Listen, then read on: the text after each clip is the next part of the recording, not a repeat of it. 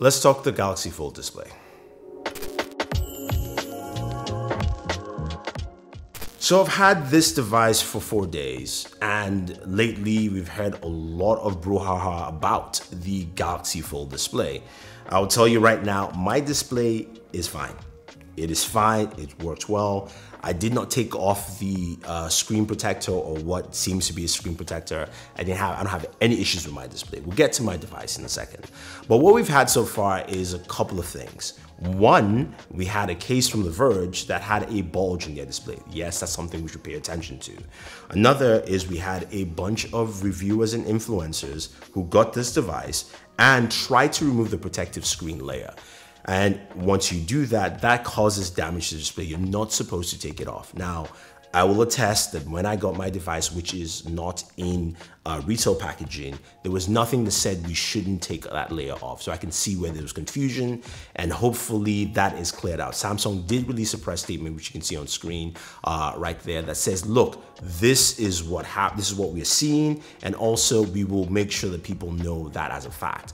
Des from T-Mobile stated that their retail packaging of the Fold does have attention. Uh, please don't take this off. So that's going to be clear in the consumer packaging. So with regards to anyone peeling off the display, that is a mixture of user error and miscommunication from Samsung in terms of reviewers, not retail packaging. I'm just stating what is there. Now, some of you might say, hey, look, he's being paid by Samsung. I am not.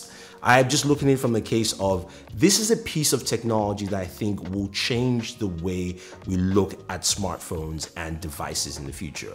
Now, there are a lot of people who just don't want this to work out. I know those people. I've commented with them on, on Twitter, and they just don't like the fact that this device is there. Some people are saying you shouldn't have released a Gen 1 device. This is the same people who said things like this with the Galaxy Note or even the first iPhone. Yes, I was probably one of those people with the first iPhone too. Just because because you don't like a company or you don't like a device doesn't mean it shouldn't be there. Remember the very first Surface. We had the same issues. A lot of people said, this is not worthwhile, it's terrible. We go to the third generation Surface, wow, it's life changing. That's what we have here with the Galaxy Fold. And I think it's something that we have to realize that yes, it is first gen, and some people said, why should we release a first gen device? Because if you want to get it to the point where it costs cheaper uh, in terms of cost, and also it becomes uh, to the full length of usability, you have to put it in the hands of people so they can also guide that decision process.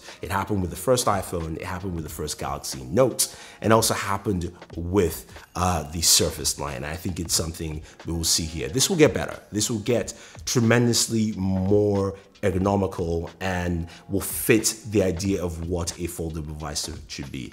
I see it here, and I'm just saying that we should take a step back and not get crazy and jump into the fray of like, oh my God, this is a device that, you know, is breaking down when it really isn't. There is, is a small sample set and we have to wait and see what happens once people actually get their units. The Samsung says, look, this is probably small and we'll hold them to that till we actually see what happens with users in hand. It might stay that way and it's fine and all this is all for nothing and people are just you know because we like we like negative stories that's the thing.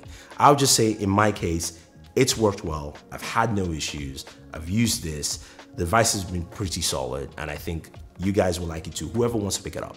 Um, so there you have it, guys. That is the truth about the Galaxy Fold display.